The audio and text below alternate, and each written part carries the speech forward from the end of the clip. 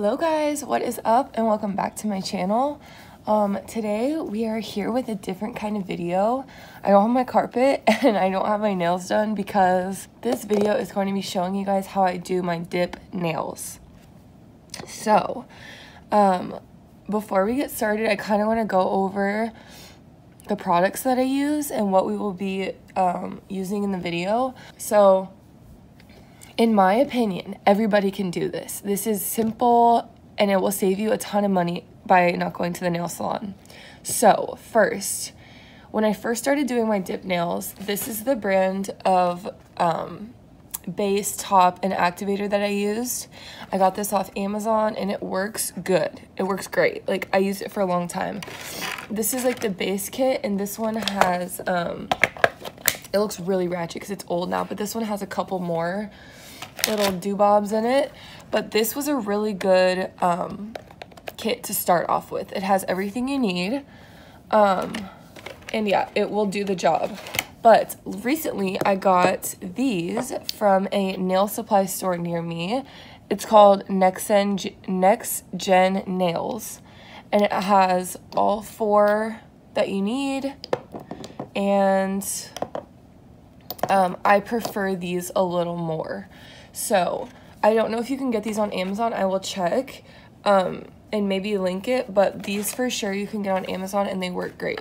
So when doing dip nails, you want your nails to be prepped wonderfully and you want them to be dry and you want them to be um, roughened up a little bit.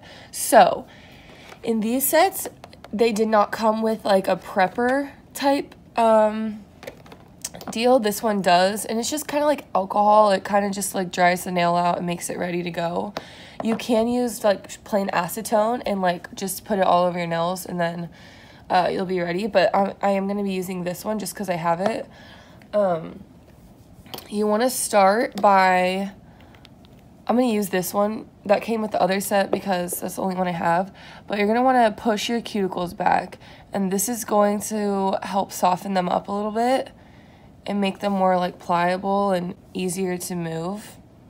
So I'm just gonna let this sit on there for a little bit and then I will push my cuticles back. I'm probably gonna like speed up some parts of this video so um, but I'm still gonna tell you guys what I'm doing. Also if my voice sounds rough it's so early and I just kind of woke up but I need to do my nails before I take Stella to the groomer so that's what I'm doing because I don't have time the rest of the day. And I have work later, so I need to get them done now. Alright, so I'm just putting this on all my cuticles. We'll finish up with this.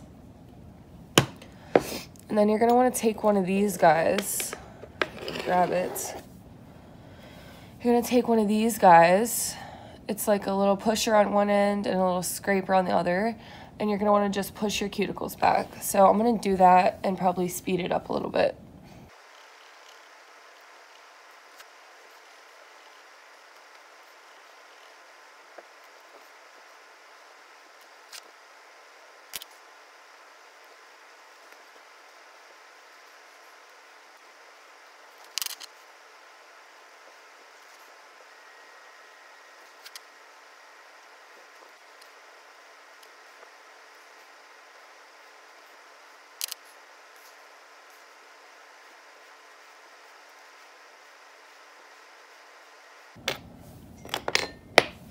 Okay, guys. So now that I feel uh, good about where my cuticles are and like how my hands are prepped, um, I am going to uh, apply this dehydrator, the prepper, just to the nails. It doesn't have to be perfect.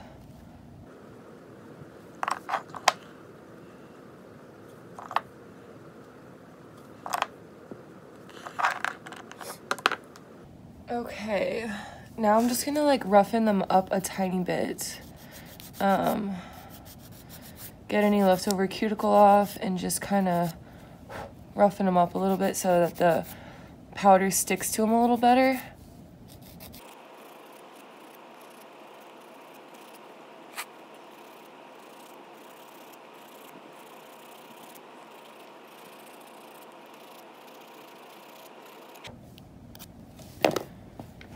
Okay guys, so now that we're all done with that, I'm gonna take my little brush and um, brush off the powder. I guess I should have kind of ran over the tools you're gonna need. You're just gonna need those two things to help your cuticles, a little brush to dust off the powder along the way, a buffer brick, and a file to shape. I got these files on Amazon in a big pack of them. They're really good. You're gonna need your bases, obviously, and now you're gonna need your powder. So I have tested out a bunch of powders, okay? I have tested out from Amazon. I've gotten this brand. It has a lot of pretty colors, but I do not recommend this brand. Um, I have found that it just cracks like super fast, which is weird. So I don't love these and I don't really use them that often but I just wanted to show you that. And then I've tried this brand off Amazon, which is really good. Azure, Azure. I really do enjoy this brand. I've tried this off Amazon, which is Astound Beauty, and it comes in this box, and it has all these colors, which I really like these as well. These are a good brand. Um, looks like this. I've also tried a couple brands from the nail supply store. Kiara Sky. You can also get these on Amazon or their website. These are pretty good. I have a bunch of these, or I only have three of these. I have this teal one, sparkly. Um, so I have these, and then I have this brand, which is called Deluxe Color Powder Design, and I have two bright colors. And I just had this green one on. That was what I had in my last video. And I do like these. And then I have two by this brand, which I like a lot. EZ Flow TruDip Powder. These are super good as well. And then I have this one, which I have not tried yet. Um, it's just a white, and I did get this from the beauty or the nail supply store as well. Today, however, I'm going to be trying this one out. I have not tried this brand yet. It's called Chisel, and this is supposed to be like a duochrome type color, um, OM5B. So I'm curious to try this out. Sorry, my fingerprints are like all over it. I'm curious to try this out and see how it is. So we're gonna go ahead and get started. I'm gonna open this up. Okay. I'm kind of scared to use this one. I don't know how it's going to look, but we're going to find out together. Okay, so I'm going to move on to um, number two. They're mostly labeled, um, so it tells you which order. This is the base. This is what we're going to be putting down between each layer of dip, okay? So we're going to go ahead and start. You're going to want to apply a thin coat, not too thick. Get it to the cuticle. Do not flood the cuticle, just kind of get it there. If you get it on the skin, just get it off. And then we're gonna go ahead and dip, tap it off, dip it one more time, and tap it off. And that's what we have so far, a super thin coat. I usually do three rounds of this. So I'm gonna go and do the next one while this one dries a little bit. I'm gonna do both hands and then come back and do it all again. Okay, so we're gonna try it again. And you want to kind of dip at an angle like this. And then, um, yeah, just keep going.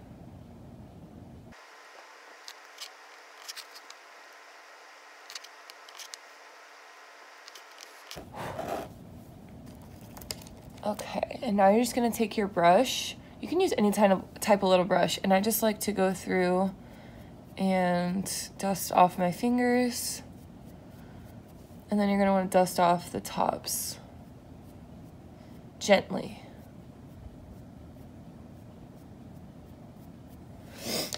Okay, now we're to go to the next hand.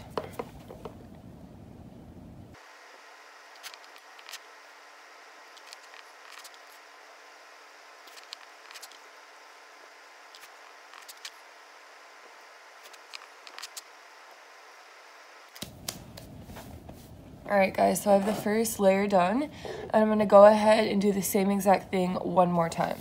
And now I'm gonna be doing another one. So let's do that.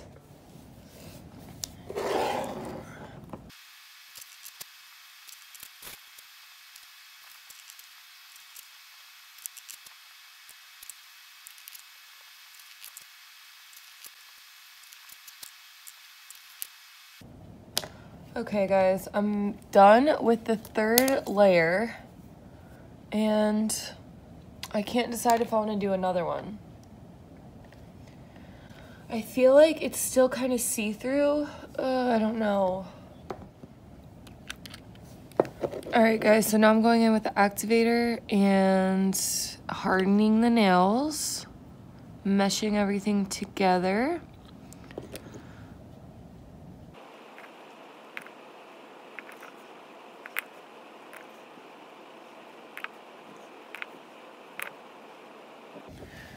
Okay, guys, so now that we're done with that, we are going to file these guys. So, let me just wipe this off. Okay, I'm gonna put the lid on here. And we're gonna file. So, take our file and go on the side that has the more rough texture. And we're just gonna file these into shape how we like them. I feel like I'm gonna need a new file soon, but I don't wanna mess up the camera setup. So I'm just gonna go with this file. Just file them however you think looks good and however you want it. If you want a rounded edge, do a rounded edge. If you want a square, do whatever you like. And um, yeah, so I'm just gonna do this and I'll be back.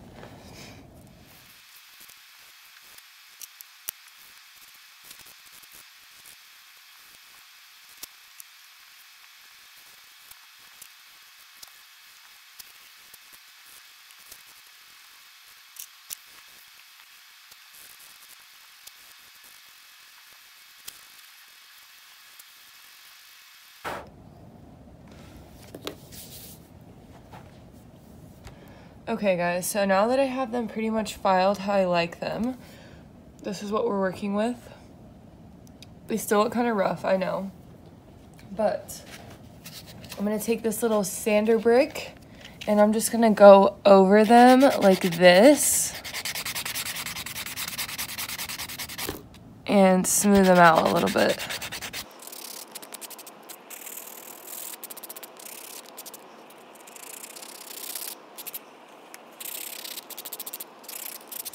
Okay guys, my nails are pretty much all smoothed out and shaped the way I want them to be shaped.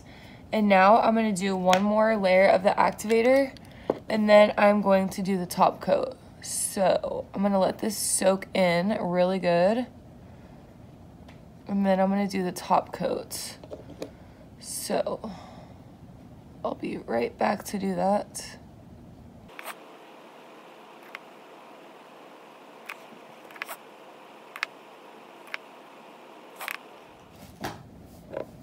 Okay guys, so I'm back to do the top coat. And what we wanna do with the top coat is I'm gonna do one nail and then come back and do the other ones, okay? So let's just get this over with. And looking back, I probably should have done a brighter color for like demonstration's sake, but I don't know why I didn't. I just wanted to try out this color. And when you guys are doing the top coat, but now that I'm looking at it, it's not very iridescent. It's kind of just a light purple, but whatever. And when you guys are doing the top coat, make sure you like cap the end of the nail. So you want to go like this along the edge, just so it seals it in extra good.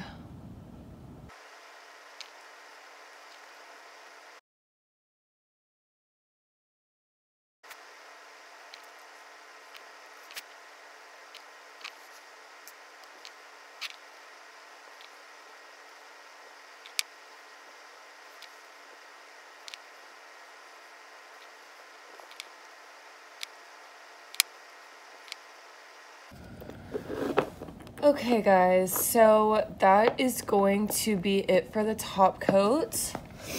Um, so yeah, I feel like they look pretty good. the last step is going to be, I have to wait for this to dry. And then I'm going to be putting on a, um, a cuticle oil. I'm going to use this for my other uh, set that I have. It's like a Nourish oil. They sell these at a lot of places. You don't necessarily need this exact one, but it's just like an oil that you're going to put on your cuticles. Um, I'm just going to wait a couple seconds for this to dry. The good thing about dip is that you don't need UV light or any kind of anything, any light to like cure it. Um, once you do the top coat, it's just going to dry by itself. So I'm just going to wait a couple seconds until this dries. The camera is not picking up the exact color, but it's more like a light purpley type of color.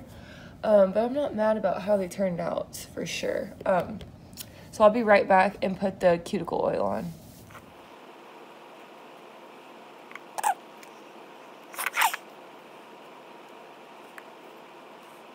And then you're just going to want to rub this in um,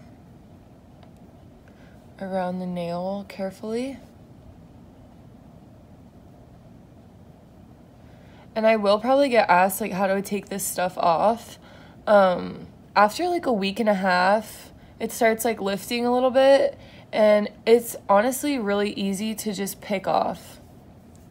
Like peel them off. I know that probably sounds bad, but it really doesn't damage your nails. And um, yeah, so that's just how I do it. I have a friend who has like one of those um, what do you call it? Little sanders and she like gets hers off like that but this works for me so i just peel them off. But yeah that's gonna do it for this video guys. Um i hope that you see that you can do this too because it really is easy to do. I'm trying to get a good clip of them but i don't know if you can tell. That's what we're looking like guys. So i hope you guys have a great rest of your day and um, it will be back to regular scheduled programming very soon with my cash stuffing videos. Bye, guys.